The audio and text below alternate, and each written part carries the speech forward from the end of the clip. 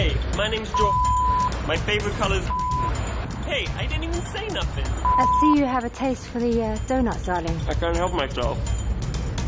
So I started my own firm in my utility closet, selling donuts. Yeah, great investment. Good as new.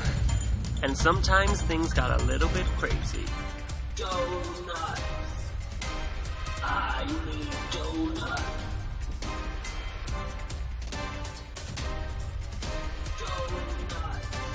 I had to smuggle them overseas. This is ridiculous. Mmm. Good stuff. Want some of this? But it all came down to one thing.